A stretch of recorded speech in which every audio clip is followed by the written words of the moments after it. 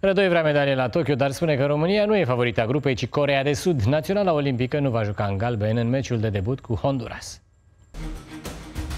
Fotbaliștii României revin după 57 de ani la Jocurile Olimpice. Naționala se va îmbrăca în albastru în meciul de debut cu Honduras. Cine bate are șanse foarte mari să termine pe locul 2 în grupă după Corea de Sud, spune Rădoi. Primul meci este cel mai dificil, da? cel, cu, cel cu Honduras, astfel încât misiunea în momentul de față este să câștigăm acest, acest meci. Cred că toți jucătorii care formează astăzi lotul olimpic vor profita de această oportunitate și ne vor face mândri în această, în această vară. La ultimul antrenament în Japonia, România, românii s-au întrecut la lovituri libere. Rădoi nu a putut să stea deoparte și și-a încercat și el norocul. Dacă va câștiga aurul la Tokyo, Naționala Olimpică va împărți un premiu record de 1,5 milioane de euro.